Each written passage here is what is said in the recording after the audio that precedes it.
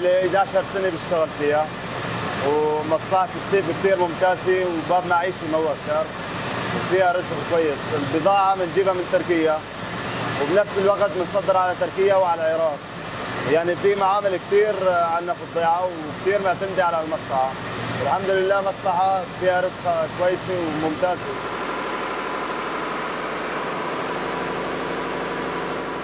نحن بنجي على معار شورين لهون كونه المستورد الرئيسي المستورد الخام من تركيا. فنحن بنجي لهون بناخذ السيف الشريط الخام وبنحوله وبنصنعه إلى سيف. بنرجع بنوزعه بالمناطق المحررة. طبعا هاي المهنة يعني آه، أنا كنت نازح في معار شورين.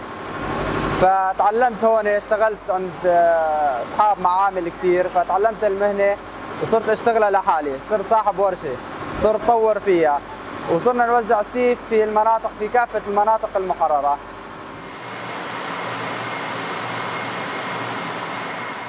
هاي المصلحة تورثناها عن أجدادنا مصلحة قديمة كثير ببلدتنا. نحن هون بنشتغل بالمصلحة لأنه كثير مريحة وكويسة ومهنة صالحة لكل المجتمع. اشتغلنا فيها أنا بشتغل فيها أنا وكل عائلتي يعني. كلياتنا بنشتغل فيها ومبسوطين.